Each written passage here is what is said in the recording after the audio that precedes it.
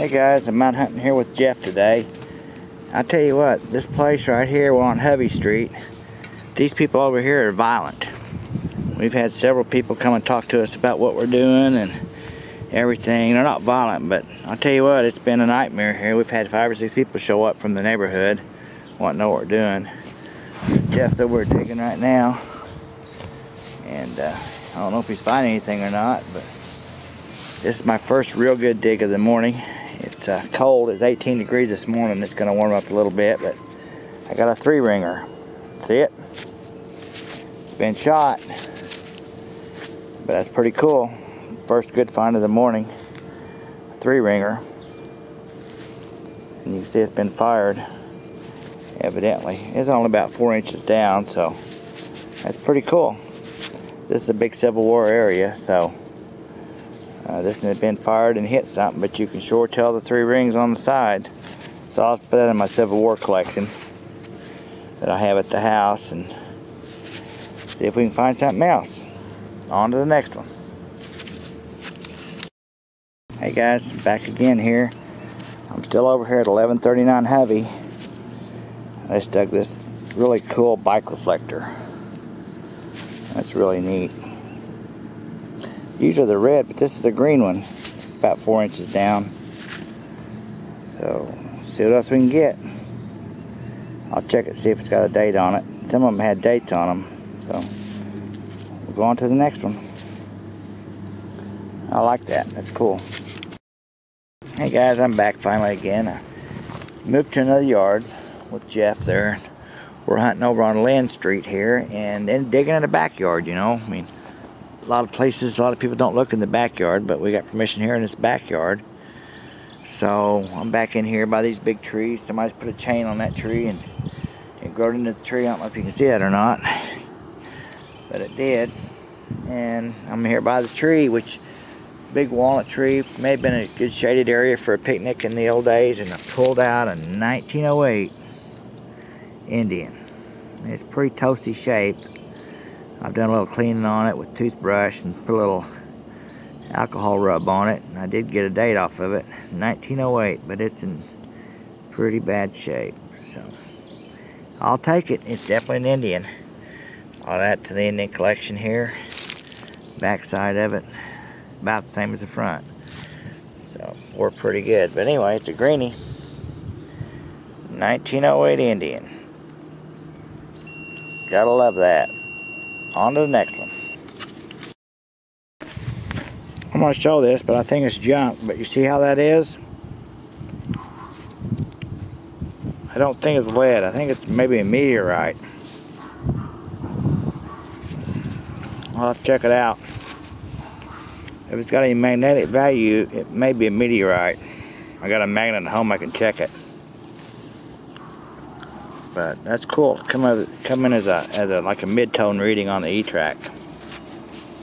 It's probably just slag, but it just it doesn't look right to me. I don't know why. I will definitely check it out when I get home. See if it's got a mag magnetic uh, value to it. See what else we can get here. Mm, hunting in this old house here and just pulled a cool couple brooches out here. That's an awesome one. That's an awesome one. Them two are cool. I'm getting to live, getting ready to live expose you something here, Mike. yeah, got a live dig going on here. All right, I just popped my plug out and I broke this off. I just wanted to see what it was live because I have no idea. It's right there, you can see it. Not sure if it's a spoon bowl or what it is. I found some jewelry. Oh, oh it's a locket. It's a locket. Wow, that's cool. That is nifty. Boy, I hope there's pictures inside that. Mm. That would be awesome. Be better if there's treasure in it. If what? Treasure in it? Yeah. Oh, feels like a gold coin in there. I'll wait. We'll open that up when we get home. That is awesome. We'll That's keep going. Super, super. That's cool, man. Hey guys, Jeff just dug his compact and I turned around I dug me a big one here. An old one. It's down about five inches or so. It's kind of, somebody must have had a bunch of jewelry and things and they just discarded them. I don't know, but he's found two brooches and and a compact. And I just found this big old compact, so that's pretty cool. And somebody must have just got rid of all their jewelry and stuff. Something happened there at one time. You never know. On to the next one. Guys, this is guys, this is probably something that doesn't interest many people, but it's pretty cool. It's a button. It's small, but it's kind of got some neat design. I don't know if you can make it out or not. It's got like rosary flowers around it or something. It's different. I believe it to be a button of some sort. It's kind of neat. I like it. I think it's got some writing on it too, around the edge. I'll have to research it out and see what I can find about it, but it's a pretty neat find. It's old. I'm happy about that. It's about four inches deep. Alright, see what else we can get. I'll knock this off my bucket list here. I think it's an old shaving head. I'll have to clean it up, but it looks like it to me. Or either that a handle or something. Alright, see what else we can get. That's definitely different. Well guys, this backyard has definitely been different. That's for sure. This is my second compact. Jeff's dug two compacts. And he said he may have another one over. This has got a little bit of a design to it. Down about three inches. Somebody must have uh, thrown away a lot of jewelry and compact stuff at one time. I don't know, but it's kind of different. Your backyard, not what you'd expect to find, but you just never know. So you just got to keep digging. and See what else we can get. Hey guys, I just popped this button out. That's pretty cool. It's got a great shank on the back. See, it's intact. Don't know how old it is, but it's a pretty neat find. I don't know if that's a violin or a harp or I don't know what it is for sure. I don't know if it went like that. That's awesome. About three inches deep here in the yard, in the backyard still of this home. So we'll go on and see if we can get something else. All right. I'm into this. Good find. Check this out. That's pretty cool. It's a really old brooch. You see it? There's a pin in the back right there. It's a clip-on brooch, I think. It's a little different. Got some great design to it though, doesn't it? Alrighty. I'm happy to have that. It's different. It's unique. Okay. So I'll clean it up to clean up see how good it cleans up. On to the next one. Well guys, I got my first wheat of the day. About three or four inches down. Had a really terrible signal though, so I think there's some trash in that hole. First wheat, 1944, I do believe. Yep, 44. Alright, that's awesome. See if we can get another one here along the side of the house here. Alright guys, Jeff and I are digging out in the front yard here. Now he had already hit this once before, a week or two ago, and we worked the back over and we come back here in front. He already found him an Indian head. Yours is 1889, you said? So you got a good old 1889, and I just started digging here in front oh, yard. Got a 1436 on the E-Trac, and down about, oh, I'm gonna guess it was there. So right in there, about this deep here. I don't have a tape measure on me, but that's probably six inches or so, maybe a little over, on edge, just like this. And this clod right here was the uh, Indian head, and it is a 19 or 18 oh or 1904. I'm sorry, 1904 Indian. I don't know if you can see it or not. It's in really good shape though, real green. Oh, it's awesome. Second Indian of the day, third for the team. We're gonna go on hunt a little more, but three Indians so far. See if we can get another one. Hey guys, it's got me an old pistol bullet here. It? I don't know how, how old it is, but it's old, but I mean, I don't know if it's Civil War or not. It's flattened out. This would be the back, that'd be the front. See how flat it made it? It's pretty cool. So it's just like that. All right.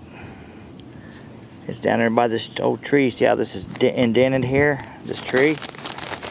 And so it was down on the edge of that tree. So see if we oh, there was a dog bone in here too. Somebody buried a dog bone there. I'll get back to the dog. That way the dog can find it later. So it's back in the hole. All right, let's go on.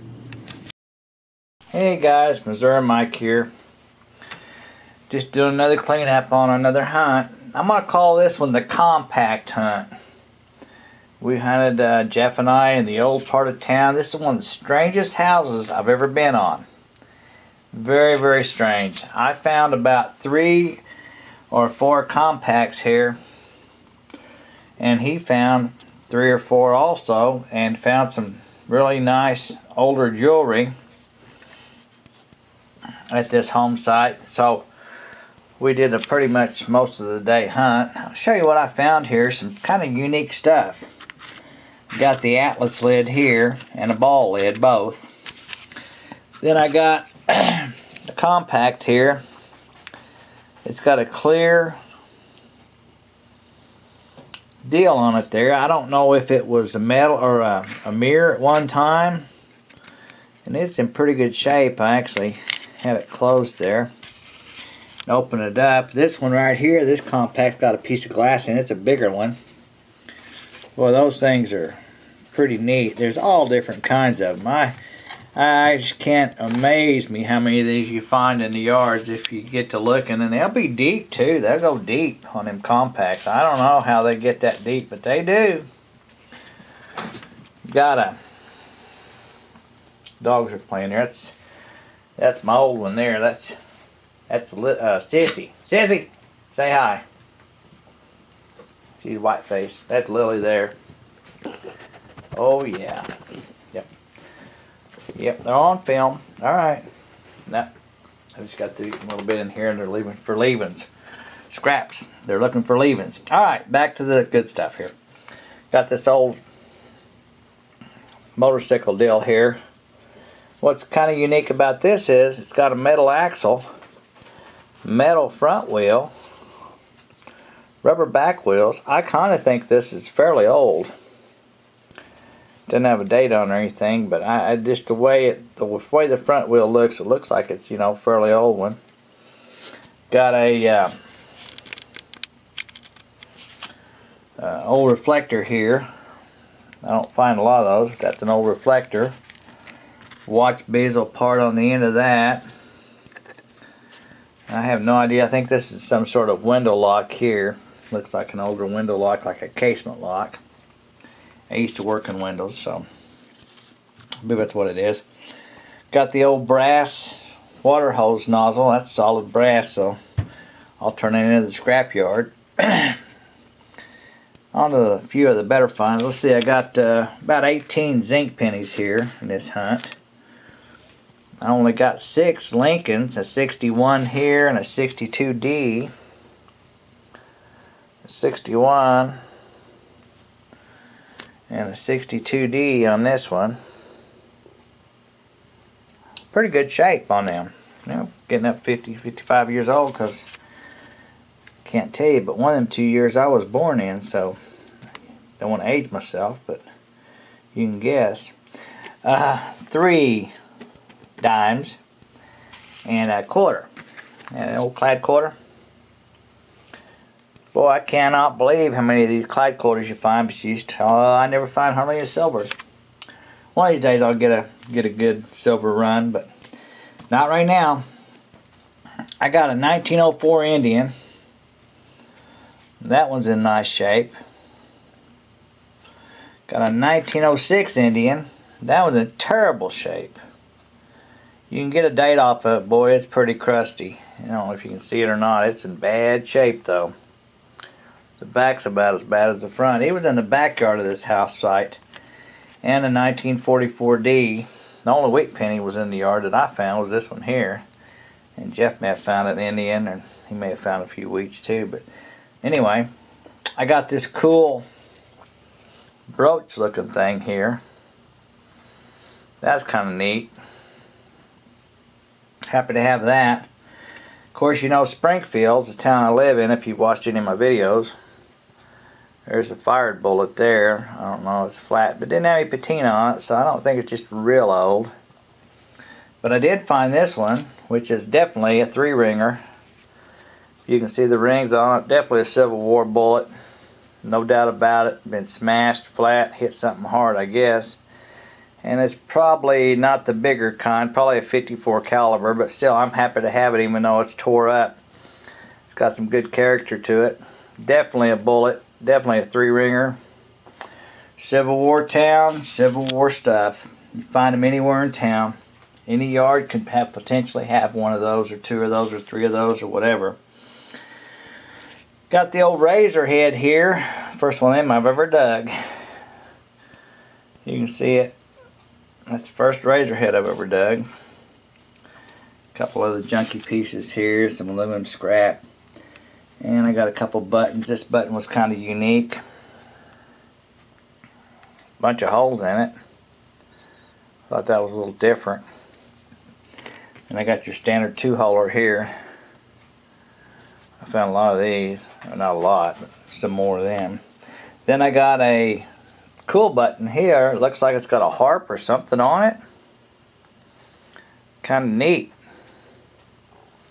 And on the back it said Cradcore and Company, Kansas City, Missouri. So it's a Missouri token there. Good pendant on it. Probably from the 40s, maybe 50s. Not just real ancient, but still a cool find. Got some great character to it. Got another piece of lead here. I don't think this is bullet lead. I think it uh, doesn't have any detail to it as far as, you know, being round or anything. I don't think it's Uh, a musket ball or anything like that.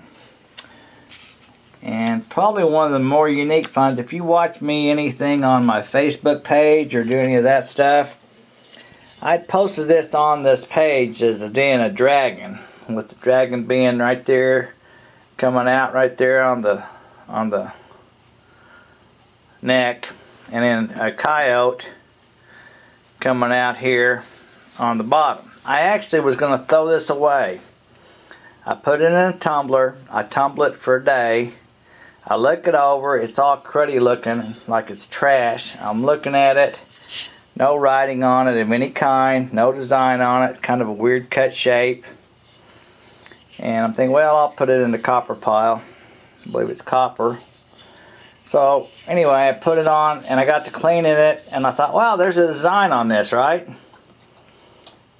That's a dragon and a coyote. So cool. That's what I'm thinking.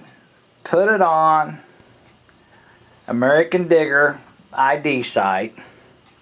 It wasn't up 10 minutes. First text come by says cool. Second text come by says turn that sideways and look it's a man. And if you turn it this way, sure enough, it's a man of some sort.